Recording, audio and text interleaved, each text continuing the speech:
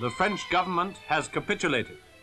22 years ago, a great marshal of France received the surrender of the German armies.